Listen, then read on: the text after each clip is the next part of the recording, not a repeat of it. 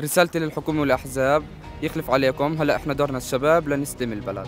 القوانين الفلسطينية بتعطي الشباب كثير حقوق بس فعليا على أرض الواقع ما بنشوف إشي منها. وضع البلد بدها تغيير في المناصب والشباب لازم يكون لها دور في هذا الشيء إحنا الشباب حابين نشوف وجوه جديدة في المناصب وبنتمنى تعطونا فرصة عشان تشوفونا في هاي المناصب. اسمعوا صوت الشباب مرة واحدة قبل ما نموت. آه، خلوا الشباب يقرروا مين يتولى أمورها أعطونا فرصة. إنه كل سنة بنسمع إنه في انتخابات وهربنا وإحنا نستنى الانتخابات. الشباب بتطالب بالانتخابات عشان نحس إنه إحنا أصلا دولة ديمقراطية. الانقسام ذبحنا وإحنا الشباب أكثر ناس تضرروا. أنا بنحكي كشاب أصير مسؤولة حزب أو في منصب كبير.